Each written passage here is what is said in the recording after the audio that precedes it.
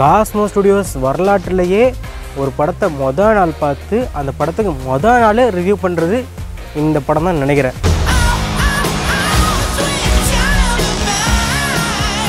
So படம் பார்த்தாச்சு. எப்படி இருக்குது? என்ன ஏது அப்படிங்கிற விவரங்கள்லாம் வந்து போக போக வரிசையாக பேசுவோம். ஸோ இந்த படம் பார்த்து முடிச்சதுக்கப்புறம் சில பேருக்கு வந்து ஒரு மூணு விதமான ஃபீலிங் வரும்னு நினைக்கிறேன். அதாவது மூணு விதமான மக்கள் இருப்பாங்க இந்த படத்தை பார்த்து முடிச்சதுக்கப்புறம். ஒன்று இந்த படம் வந்து பரவாயில்ல. ஓரளவுக்கு நல்லா இருக்குது ஆவரேஜாக இருக்குது அப்படின்னு யோசிக்கிறவங்க. அண்ட் இன்னொன்று என்னப்பா படம் இவ்வளோ மொக்கையாக இருக்குது? அப்படி இப்படின்னா பில்டப் போட்டுருந்தாங்க. இவ்வளோ சுமாராக இருக்குது அப்படின்னு நினைக்கிறப்ப நினைக்கிறவங்களும் இருப்பாங்க. அண்டு மூணாவது பரவாயில்ல கொடுத்த காசுக்கு ஒருத்தான படம் தான். நல்லா தான் இருக்குது நல்லா தான் இருக்குது அப்படின்னு சொல்லுவாங்களே தவிர இந்த மூன்றி தாண்டி நாலாவதா அப்பா படம் வேறு லெவலில் இருக்குது அப்படின்னு நினச்சி எனக்கு எனக்கு தெரிஞ்சு யாரும் சொல்ல மாட்டாங்கன்னு நினைக்கிறேன். ஏன்னா படமே அந்த லெவலுக்கு தான் இருந்துச்சு. அண்ட் இந்த படத்தோட கதையை பற்றி பார்த்தோன்னா கூட ஒரு கிளீஷேவான கதையாக தான் இருந்துச்சே தவிர ஒரு டிஃப்ரெண்ட்டாக எதுவும் ட்ரை பண்ணலையோன்னு தோணுச்சு. ஸோ நான் கோரை கொண்டு வரும்போது நான் நினச்ச ஒன்றே ஒன்று கோரை வெயிட்டேஜை காட்டிடணும் கோரை நல்லா காட்டிடணும் அப்படின்னு தான் நினச்சேன். ஸோ கோரை நல்லா காட்டியிருக்காங்க. ஆனால் வந்து அந்தளவுக்கு நல்லா காட்டலையோ அப்படின்னு ஒரு மனசில் தோணுச்சு. ஏன்னா அவ்வளோ வெயிட்டேஜ் கொடுத்து கடைசியில் சப்புன்னு முடிச்சிட்டாங்க. அது வந்து ஏற்றுக்கவே முடியல. அந்த கோரோட கேரக்டரை வந்து என்னடா இப்படி பண்ணிட்டீங்க? அப்படின்ற லெவலில் தான் எனக்கே ஃபீல் ஆனுச்சு. ஸோ எத்தனை கோர் ஃபேன்ஸ் கஷ்டப்பட்டீங்க. எத்தனை கோர் ஃபேன்ஸுக்கு இது வந்து பிடிக்காம போணுச்சு அப்படின்னு மறக்காமல் கமெண்ட் பண்ணுங்கள் அண்ட் எண்டிங் வந்து சில பேருக்கு பிடிக்கலாம். அண்ட் சில பேருக்கு வந்து இது வந்து ஒரு கவித்துவமான எண்டிங்காக கூட இருக்கலாம். எனக்கு வந்து இந்த கோரோட எண்டிங் பிடிக்கல. அண்ட் கோரோட எண்டிங்க்கு அப்புறம் இன்னொரு எண்டிங் வரும். அது கொஞ்சம் எமோஷ்னலாக டச்சிங்காக முடிச்சிருந்தாங்க. அது சூப்பராகவும் இருந்துச்சு அட்டகாசமாகவும் இருந்துச்சு. தோர் வந்து ஒரு ஃபேமிலி மேடம் மாற்றி விட்டாங்க இந்த படத்தில். அண்ட் படத்தில் எக்கச்சக்கமான கேரக்டர் இருக்குது அப்படின்னு சொல்ல முடியாது. ஒரு சில கேரக்டர்ஸ் மட்டும்தான் இருக்காங்க. அண்ட் ஓப்பனிங்காக கார்டியன்ஸ் ஆஃப் கேலக்ஸி காட்டியிருக்காங்க. அவங்கள எந்த அளவுக்கு யூஸ் பண்ணுமோ அந்தளவுக்கு யூஸ் பண்ணிட்டு அப்படியே பற்றி அடிச்சு விட்டுறாங்க. அவங்களும் போயிடுறாங்க.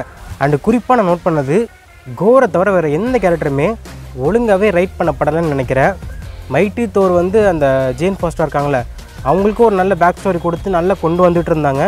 பட் கிளைமேக்ஸில் அவங்களுக்கும் சப்புன்னு முடிச்சு விட்டு பெரிய சிலையை வச்சு விட்டு இந்தா போ அப்படின்னு அனுப்பிச்சி விட்டாங்க. அண்ட் குறிப்பாக படத்தில் இன்னொரு விஷயம் சூப்பராக ஒர்க் அவுட் ஆயிருந்துச்சு. அது என்னன்னு கேட்டிங்கன்னா அண்டு குறிப்பாக படத்தில் இன்னொரு விஷயம் செம்மையாக ஒர்க் அவுட் ஆயிருந்துச்சு. அது என்னென்னு கேட்டிங்கன்னா ஃபன்னு காமெடிஸு சும்மா வேறு லெவலில் இருந்துச்சு.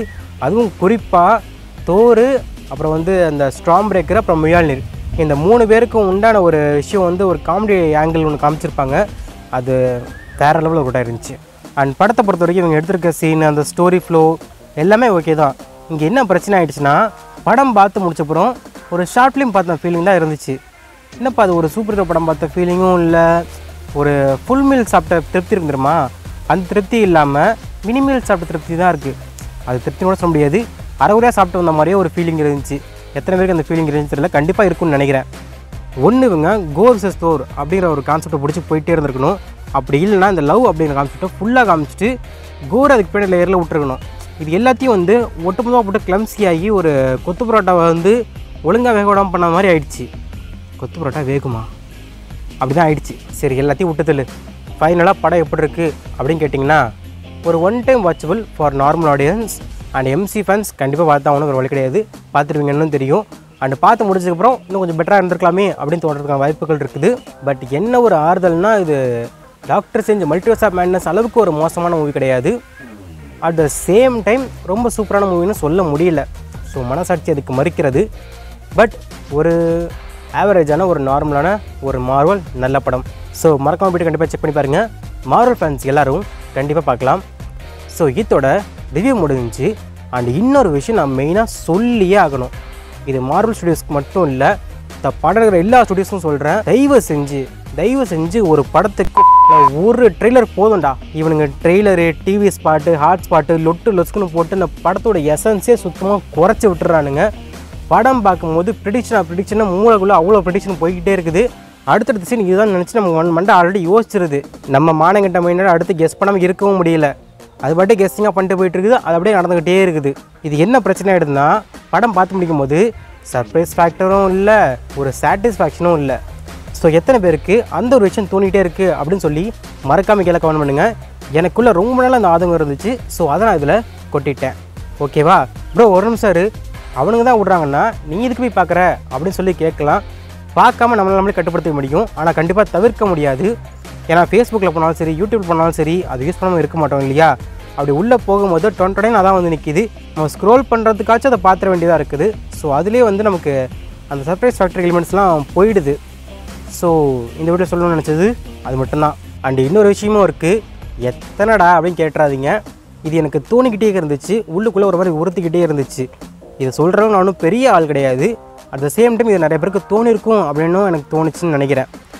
இந்த பேர்ஸ் ஃபோரில் மார்வலில் வந்து விஎஃப்எக்ஸ் எல்லாமே கொஞ்சம் அடி வாங்குற மாதிரியே எனக்கு தோணிட்டு இருக்குது ஸோ விஎஃப்எக்ஸ் எல்லாமே கொஞ்சம் லோ ஆயிடுச்சோ. பழைய மார்வல் லெவலுக்கு இல்லையோ அப்படின்னு எனக்கு தோணுச்சு.